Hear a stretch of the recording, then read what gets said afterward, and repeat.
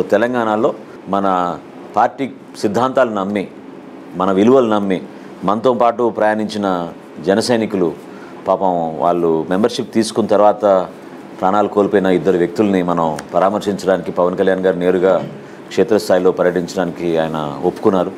So వాళ్ళని వాళ్ళు మనం ఏదో ఆర్థిక సహాయమే కాకుండా వాళ్ళకి అన్ని విధాలుగా భరోసా ఇచ్చేటట్టు ఆ కుటుంబానికి మనం ఆ గౌరవం ఇచ్చేటట్టు పవన్ కళ్యాణ్ గారే స్వయంగా వస్తున్నారు. పవన్ కళ్యాణ్ గారితో పాటు మన అందరం ఆయనకి నిలబడాలి. సో కొంగరి సైదులు గారు తర్వాత కడియం శ్రీనివాసరావు గారు. వీళ్ళిద్దరు కూడా మనకి జన సైనికులుగా పాపం చౌటుపల్లి నుంచి ఒకళ్ళు హుజూర్ నగర్ నుంచి ఒకళ్ళు. ఆ ఇద్దరిని కూడా మనం గౌరవంగా వాళ్ళ ఇంటికి వెళ్ళి పరామర్శించి ఐదు లక్షల రూపాయలు చెక్ పవన్ కళ్యాణ్ గారు స్వయంగా వాళ్ళకి ఆ కుటుంబానికి అందజేస్తారు. ఆ భరోసా నింపే విధంగా మీరందరూ కూడా ఈ కార్యక్రమంలో భాగస్వాములై విజయవంతం చేయాల్సిన అవసరం ఖచ్చితంగా ఉంది. ఈ కార్యక్రమం మనం వీలైతే ఫస్ట్ ప్రోగ్రాం చౌటుపల్లిలో చేసుకుని అక్కడి నుంచి మనం కోదాడ వరకు వెళ్ళి ఆ కుటుంబాన్ని పరామర్శిస్తే బాగుంటుందని అనుకున్నాం. మీరు మన పార్టీ అధ్యక్షులు పవన్ కళ్యాణ్ గారి డైరెక్షన్స్ మేరకు ఈ కార్యక్రమం మాత్రం చాలా గౌరవంగా చేయాలి మనం హుందాగా చేయాలి. ఎందుకంటే పాపం మనం మనం మన సొంత ఫ్యామిలీ వ్యక్తులు మనం వాళ్ళని కోల్పోయినప్పుడు వాళ్ళని గౌరవించే విధంగా మనం ఈ కార్యక్రమాన్ని ముందు తీసుకెళ్దాం.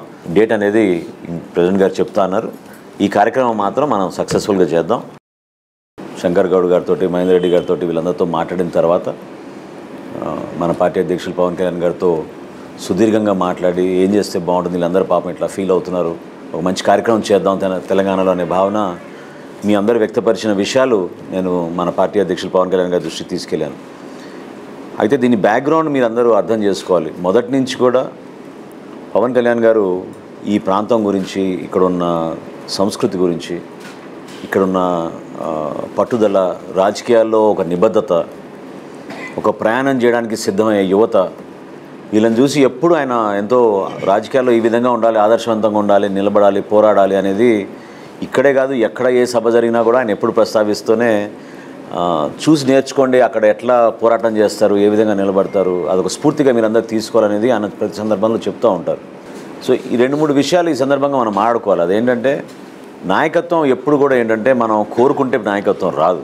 నాయకత్వం అనేది మనం కష్టపడాలి కష్టపడే మనస్తత్వం ఉండాలి ఒక ప్రణాళిక ఉండాలి.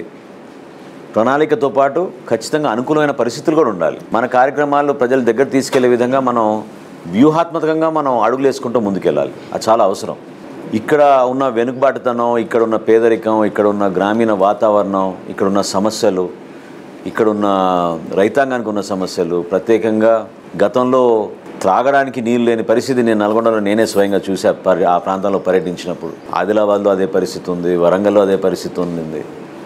సో అక్కడి నుంచి మనం ఒక్కోటి ఒక్కోటి చేసుకుంటూ వస్తే పవన్ కళ్యాణ్ గారు ఈ రోజుకి గుర్తుపెట్టుకునేది మొట్టమొదటిది ఆయన ఆ రోజుల్లో ఆదిలాబాద్లో ఒక తాండాలో వాళ్ళందరూ కోరింది ఏంటంటే మంచినీరు అనగానే ఆయన రాగానే ఒక బోర్ కోసం ఏర్పాటు చేసి వేయించింది. ఆయనకి బాగా గుర్తు. అంటే నేను ఆ నాయకత్వాన్ని దీన్ని ఈ విషయాన్ని ఎందుకు పోలుస్తున్నానంటే మనం తిరిగితేనే మనకి ఆ సమస్యల గురించి అవగాహన వస్తుంది. అప్పుడు మనకు పట్టు వస్తుంది. ఇప్పుడు దాదాపు నాకు ఉమ్మడి నల్గొండ జిల్లాలో ఫ్లోరైడ్ సమస్య గురించి ముప్పై ఆరు గ్రామాలు నేను పర్యటించాను.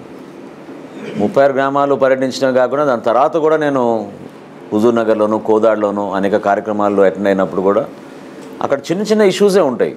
కాకపోతే స్థానిక ప్రజాప్రతినిధులు స్పందించడం లేదు స్పందించాలనే కోరుకుంటారు ప్రజలు. సో జనసేన నుంచి మనం నిలబడాలి మన గలం వినిపించాలి మనం కూడా ప్రభుత్వం దృష్టికి తీసుకెళ్ళాలి. ఈ కార్యక్రమాలు చేసే విధంగా మనం కూడా ఒక వారధిగా ఏర్పడితే తప్పకుండా ప్రజల్లో మనకి ఆదరణ పెరుగుతుంది.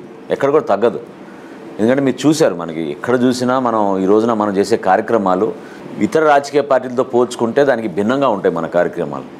ఎందుకంటే మన దగ్గర ఉన్న యువత మనకున్న విలువలతో కూడిన రాజకీయాలు. మన ఏదో ప్రెస్ మీట్లు పెట్టి వ్యక్తిగత ఆరోపణలు చేసి లేకపోతే చిల్లర చిల్లర పనులు చేసే మనుషులం ఎవ్వరం కూడా మన జనసేనలో లేం. ఎందుకంటే మన పార్టీ అధ్యక్షులు ఆ విధంగా మనకి ఒక స్ఫూర్తినిస్తారు. దిశానిర్దేశం ఆయన చేస్తూ ఉంటారు కాబట్టి ఆ కార్యక్రమాన్ని మన విజయవంతం కోసం అందరం కృషి చేస్తూ ఉంటాం. సో ఆ విధంగానే గత ఎన్నికల్లో కొన్ని ప్రాంతాల్లో మనం పోటీ చేసాం అనుకోకుండా లాస్ట్ మినిట్లో మన వాళ్ళు కొంతమంది ముందుకు వచ్చి నిలబడాల్సి వచ్చింది. వాళ్ళు కూడా ఎవరికి తెలియదు వాస్తవంగా ఆ రోజు పవన్ కళ్యాణ్ గారు నిర్ణయం తీసుకున్నారు. చాలా అర్జెంట్గా మీరు వెళ్ళిపోయి బీఫామ్లు తీసుకెళ్ళి నామినేషన్లు ఏమన్నారు? నిలబడ్డాం. ఒక ఎన్నిక చేసాం దాదాపు మనకి లక్షన్నర ఓట్లు మనకి ఆ రోజు మనం సాధించుకోగలిగాం ఈ ప్రాంతంలో. సో ఎక్కువగా పోటీ చేయకపోయినా మనం ఉన్న కొన్ని ప్రాంతాల్లో బలంగా మనం కార్యక్రమాన్ని ముందు తీసుకెళ్ళగలిగాం.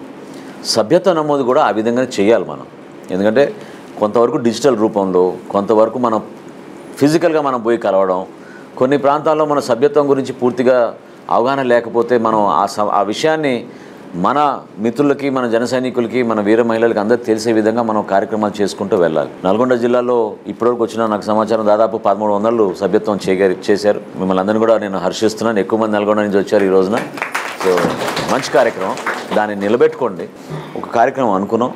అది నేను మీ ముందు ఈరోజు కొంతవరకు మీకు సమాచారం ఇచ్చి దాన్ని ఎట్లా చేద్దాం ఏంటి అని పెద్దలందరూ మీరందరూ కూర్చుని మాట్లాడుకొని దాన్ని విజయవంతం చేసేటట్టు ప్రతి ఒక్కరి దీంట్లో భాగస్వాములు అవ్వాలి.